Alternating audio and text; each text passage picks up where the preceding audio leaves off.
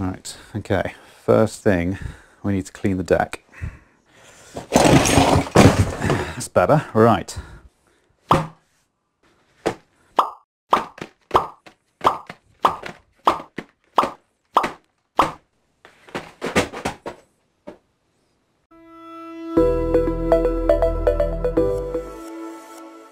Ladies and gentlemen, welcome back. Now, today we have the Schneider Easy 9 consumer unit. Now, Schneider, uh, yeah, as word on the street would uh, confirm, is a very good brand. They, uh, if you took brands as a spectrum and you had the budget brands down here, and Schneider always seem to sell themselves always up here. They're a higher end brand and they are more expensive. Um, so we will see if, well, the proof is in the pudding. We will see what this is like to install. So without further ado, let's unbox it.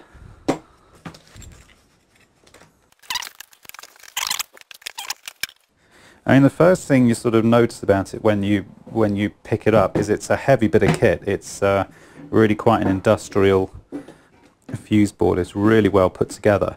So the lid comes off like that. That gives you your enclosure inside.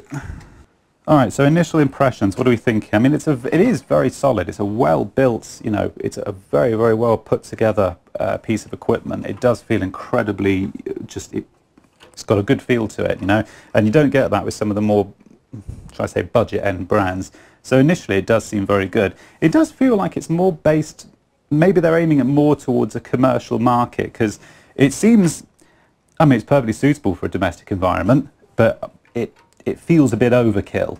Um, but it's, uh, it certainly feels very good. So uh, the proof the pudding, let's fit it and see how we get on. The biggest problem I'm seeing it's not major, but it's enough that it would, you know, it would irritate you if you're doing it every day, like, is the grommets at the top. There's only five entry points on the top of the fuse board. Now, obviously, if you're doing, you know, if this is a 10-way board here, so if you've got, you know, 10 circuits to change over, you're never going to get them through five grommets. It's just not going to happen. And there's no side entry points on these boards either, which I get, they've probably done that for aesthetics, which is fine. I've got no issue with that. But I probably prefer functionality over aesthetics, uh, especially if you're dealing with things like I've got a 10mm twin and earth here, well a 10mm takes up one whole space. It's just more of an observation while I'm fitting it that I've noticed, but the rest of it so far seems pretty good. Okay, so on the plus side, what have we got? Well, these RCBOs, because this board is designed to accommodate MCBs and RCBOs, they've made the board a little bit taller to accommodate the height of the RCBOs, and they fit in like a doddle. They are really easy to fit in. Uh, and the other good thing about them is they all sit perfectly straight in the fuse board. Nothing worse when you fit a board and as you put the MCBs in, they all they get a bit of a wonk on and they just when you put the cover on, it doesn't seem to matter how much you try and straighten it out, they just don't straighten out.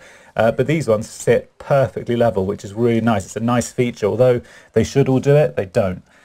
The other thing that was worth noting is that the RCBOs and the main switch, in fact, all of the switches have all got a nice tactile feel to them.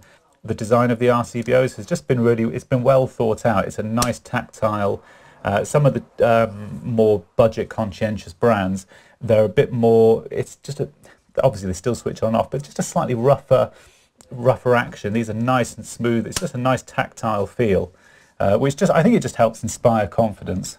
So now I've fitted it, what are my final thoughts on it? It's a good board, there's no doubt about it. It feels, but it's the quality of it feels exceptional. There's no, absolutely no doubt about that. Um, if I had to make one single criticism, it would be the knockouts on the top. There should be more of them.